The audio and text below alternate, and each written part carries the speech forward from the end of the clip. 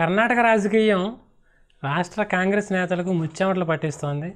జనతాదళ శాస్త్ర నేతలకు కూడా అదే రకమైన పరిస్థితి కల్పిస్తుంది. మొత్తం మీద తాము ఏదైతే అంశాన్ని దృష్టిలో పెట్టుకుని అసమ్మతం రాజేసుకున్నారో ఆ అసమ్మత నాయకులు కూడా ఇప్పుడు తలకాయ పట్టుకోవాల్సిన పరిస్థితి ఏర్పడింది. ఇలా ఎందుకు జరుగుతుంది?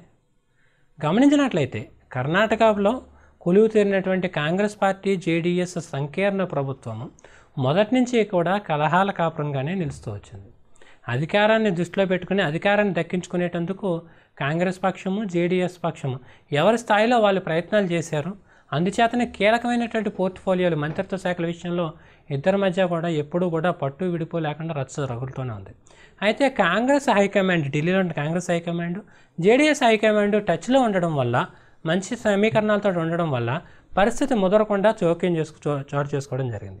సో దీన్ని దృష్టిలో పెట్టుకున్న తర్వాత కర్ణాటకలో గత సిఎల్పి లీడర్ ఎవరైతే సిఎల్పి లీడర్ ఎవరైతే ఉన్నారో అంటే గత కాలంలో ముఖ్యమంత్రిగా ఉన్నటువంటి సిద్ధరామయ్యని వేరు బేస్ చేసుకుని ఈ అసమ్మతి మొదట్లో పుట్టింది అనేటువంటి మాట ఒకటి వినిపిస్తుంది. అంటే ఇప్పుడున్నటువంటి పరిస్థితిలో ఎక్కువ ఎమ్మెల్యే సీట్లు కర్ణాటక కాంగ్రెస్కి ఉన్నాయి కాబట్టి తక్కువ సీట్లు ఉన్నటువంటి జేడీఎస్కి ఎందుకు మద్దతు ఇవ్వాలి? అందుచేత కాంగ్రెసే అధికారాన్ని తీసుకున్నట్లయితే జేడీఎస్ని తమ పక్షంలో ఉంచుకున్నట్లయితే కనుక ముఖ్యమంత్రిగా కాంగ్రెస్ నాయకుడే అవుతాడు. సో అలాంటప్పుడు సహజంగానే ఆ అవకాశం సిద్ధరామయ్యకి దక్కుతుంది కాబట్టి సిద్ధరామయ్య ఈ దిశగా పావులు కదిపారనే మాట వినిపిస్తోంది. అందుచేతనే కొంతమంది ఎమ్మెల్యేలతో రాజీనామా అనే అస్త్రాన్ని ప్రయోగించినట్లయితే కనుక వెంటనే కాంగ్రెస్ హైకమాండ్ జేడీఎస్ రెండు కూడా దిగి వస్తాయని ఆయన తలంచడం జరిగింది. ఇందుకు కారణం లేకపోలేదు. ఇప్పటికిప్పుడు పరిస్థితి తిరగవారు తారుమారు అయితే కనుక వాళ్ళు వెళ్ళి బీజేపీ కోర్టులో పడుతుంది. బీజేపీ గవర్నమెంట్ ఫామ్ చేస్తుంది కాబట్టి అది కాంగ్రెస్ హైకమాండ్కి జేడీఎస్కి రెండింటికి ఇష్టం లేని పని కాబట్టి తన యొక్క డిమాండ్ నెరవేరుతుందని చెప్పేసి అని ఆయన ఉద్దేశపడ్డారు. అందుకు అనుగుణంగానే అసమ్మతి బాణాన్ని ప్రయోగించారని అని చాలామంది చెప్తున్నారు. కానీ ఆ ప్రయోగించిన బాణం మాత్రం అది రకరకాల మలుపులు తిరిగి ఇప్పుడు సిద్ధరామయ్య చేతుల నుంచి కూడా బయటకు వెళ్ళిపోయింది అనేటువంటి మాట వినిపిస్తుంది.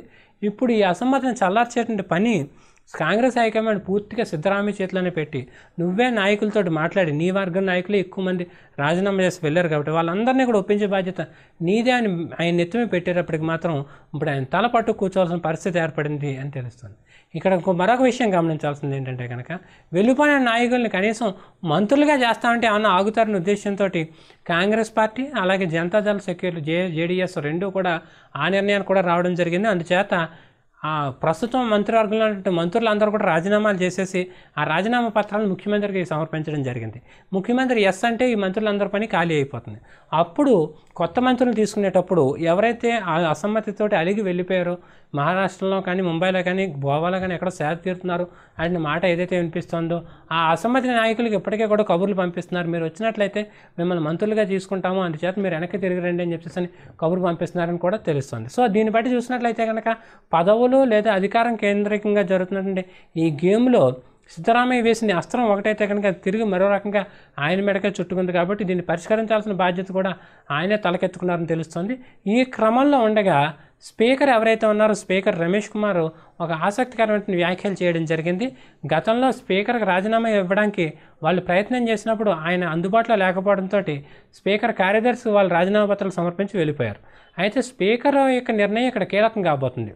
ఈ రాజీనామాలు చేసిన పద్నాలుగు మందిని అనర్హులుగా స్పీకర్ ప్రకటిస్తే మాత్రం శాసనసభలో బల పరీక్షకి ఎదుర్కోవాల్సి వస్తుంది. సో ప్రకటించకపోతే పరిస్థితి ఏంటనేది కూడా మనం ఆలోచించాలి. అందుచేత శాసనసభలో బల పరీక్షకు సిద్ధపడాల్సిన పరిస్థితి లేకుండా చేయడం కోసమే అన్నట్లుగానే పరిణామాలు చోటు చేసుకుంటున్నాయని వాట వినిపిస్తోంది. ఈ క్రమంలో స్పీకర్ రమేష్ కుమార్ చేసిన వ్యాఖ్యలు ఆసక్తికరంగా ఉన్నాయి. తాను ఎవరి ఒత్తిడికి లొంగటం లేదని గతంలో తన కాంగ్రెస్ వాదిని అయినప్పటికీ కూడా స్పీకర్ స్థానంలో కూర్చున్న తర్వాత మాత్రం తను నిష్పక్షపాతంగా వ్యవహరిస్తానని ఆయన చెబుతూనే ప్రస్తుతానికి రాజీనామాల మీద ఎటువంటి నిర్ణయం తీసుకోలేకపోతున్నానని.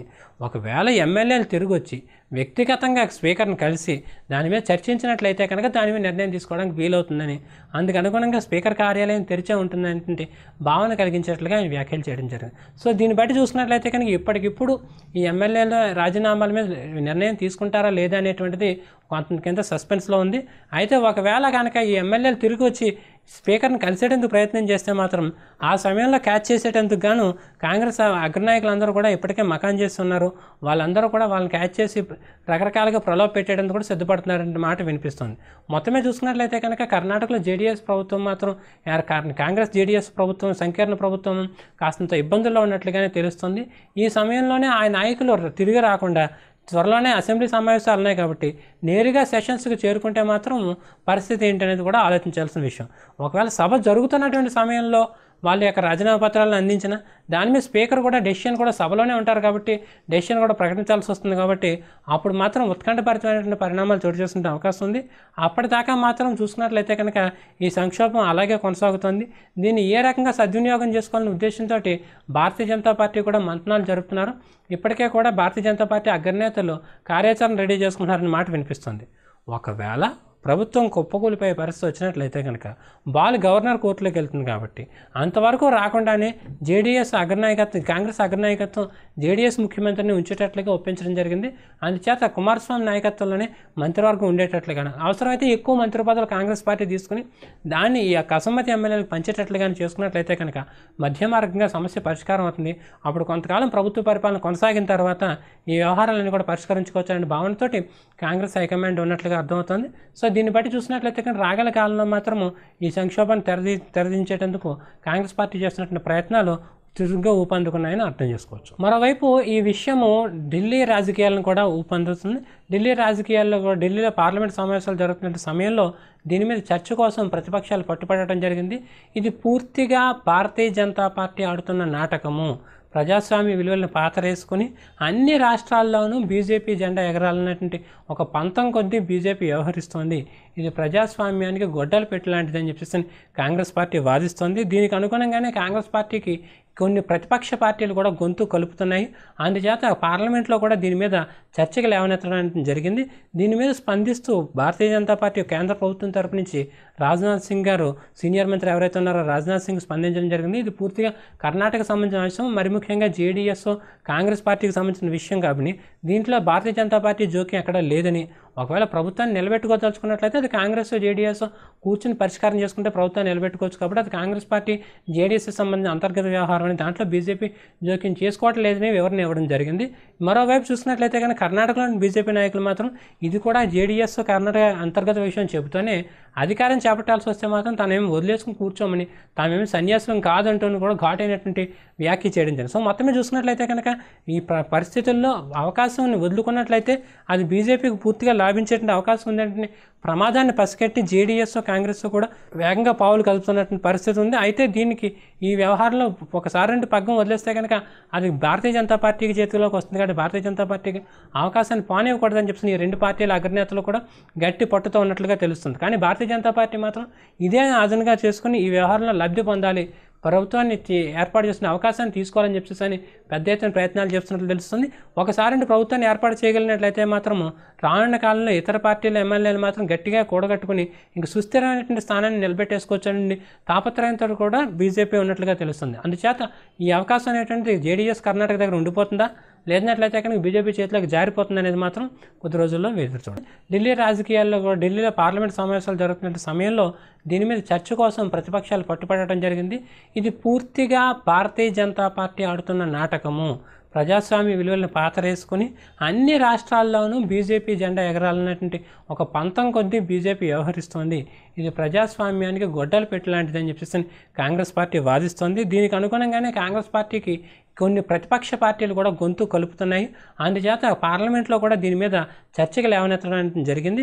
దీని మీద స్పందిస్తూ భారతీయ జనతా పార్టీ కేంద్ర ప్రభుత్వం తరపు నుంచి రాజ్నాథ్ సింగ్ గారు సీనియర్ మంత్రి ఎవరైతే ఉన్నారో రాజ్నాథ్ సింగ్ స్పందించడం జరిగింది. ఇది పూర్తిగా కర్ణాటక సంబంధించిన అంశం మరి ముఖ్యంగా జేడీఎస్ కాంగ్రెస్ పార్టీకి సంబంధించిన విషయం కాబట్టి దీంట్లో భారతీయ జనతా పార్టీ జోక్యం ఎక్కడ లేదని ఒకవేళ ప్రభుత్వాన్ని నిలబెట్టుకోదలుచుకున్నట్లయితే అది కాంగ్రెస్ జేడీఎస్ కూర్చుని పరిష్కారం చేసుకుంటే ప్రభుత్వాన్ని నిలబెట్టుకోవచ్చు కాబట్టి అది కాంగ్రెస్ పార్టీ జేడీఎస్ సంబంధించిన అంతర్గత వ్యవహారం అని దాంట్లో బీజేపీ జోక్యం చేసుకోవటం లేదని వివరణ ఇవ్వడం జరిగింది.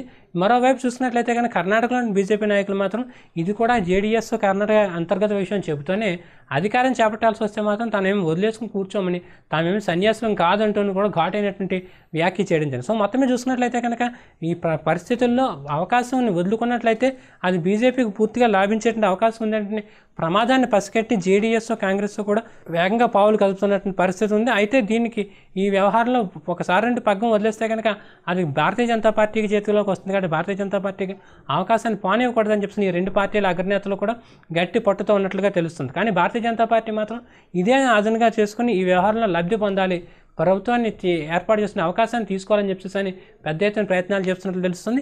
ఒకసారి ప్రభుత్వాన్ని ఏర్పాటు చేయగలిగినట్లయితే మాత్రం రానున్న కాలంలో ఇతర పార్టీల ఎమ్మెల్యేలు మాత్రం గట్టిగా కూడగట్టుకుని ఇంక సుస్థిరమైనటువంటి స్థానాన్ని నిలబెట్టేసుకోవచ్చని తాపత్రయంతో కూడా బీజేపీ ఉన్నట్లుగా తెలుస్తుంది. అందుచేత ఈ అవకాశం అనేటువంటి జేడీఎస్ కర్ణాటక దగ్గర ఉండిపోతుందా?